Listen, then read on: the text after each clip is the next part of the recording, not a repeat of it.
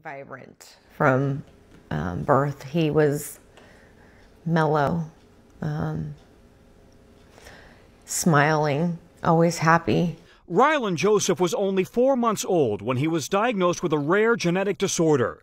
But just days after a risky bone marrow transplant and with a weakened immune system, Rylan took an unexpected turn. Kelly and I talked to one of the doctors. I asked her, Is he going to die? She said yes. Ryland died on May 16, 2013. But he didn't die from the transplant or his rare genetic disorder. He died from Legionnaire's disease he contracted in his own hospital room, most likely from inhaling microscopic water droplets released in the shower. We know that after Ryland died, uh, they swabbed with a cotton swab the inside of the shower head in his own room and they found Legionella in the, the shower head. Uh, I mean, that's clear evidence. The Legionella bacteria thrives in warm water environments like cooling towers and large plumbing systems.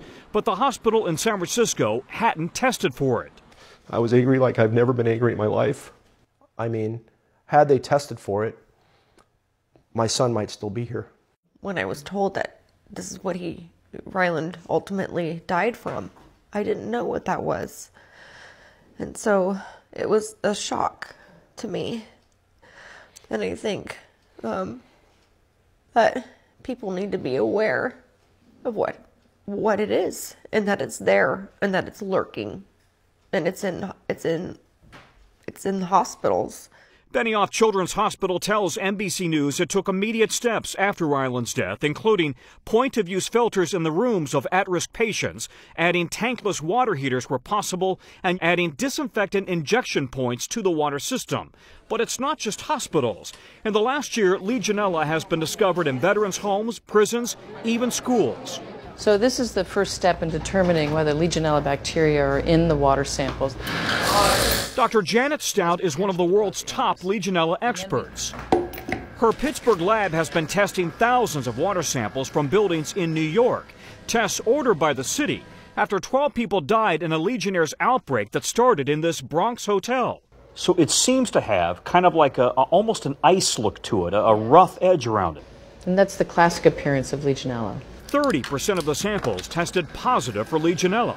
Dr. Stout says the country doesn't take the threat seriously enough. If you had told me 30 plus years ago, we'd be sitting here talking about all these outbreaks and why there isn't more being done for prevention.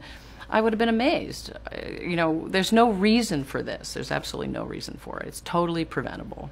Her research shows each year roughly 30,000 people contract Legionnaire's disease in the U.S.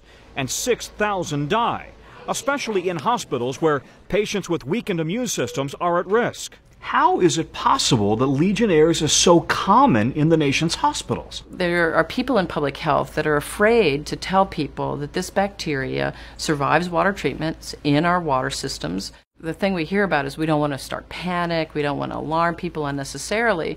So what happens is inaction.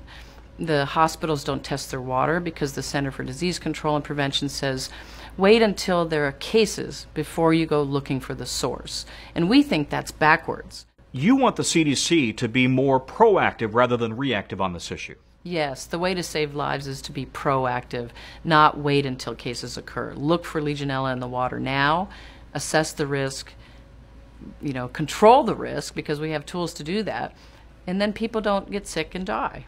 There are no federal laws requiring regular testing for Legionella until a patient is actually diagnosed with the disease. But at UPMC Mercy Hospital in Pittsburgh, they're not waiting. On a warm day, these cooling towers process hundreds of thousands of gallons every hour just to keep the patients in the hospital below cool. Inside UPMC, a new treatment system constantly monitors and disinfects the hospital's water.